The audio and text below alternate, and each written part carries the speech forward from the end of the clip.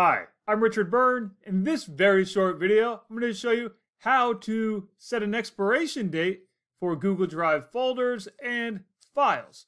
Let's go ahead and take a look at it. First of all, let's pick one of my folders here. And I have a folder full of PC repair manuals.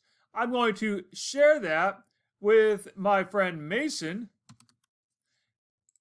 And Mason is going to be an editor. However, I'm going to add an expiration date so that he only has access to it until the end of this month. And then I'll revoke his access.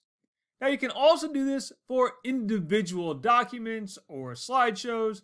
Let's say you have a document like this one and you want to share it. Again, I'm going to share it with my friend Mason. And I'm going to make him an editor, but he's only going to be an editor until the 1st of December. And then he will no longer have access. So that's how you can set expiration dates for your Google Drive folders and files. And it's important to note that this will only work with a Google Workspace for education or Google Workspace business account. It won't work with your Gmail account. As always, for more things like this, please visit freetech4teachers.com or subscribe to my YouTube channel.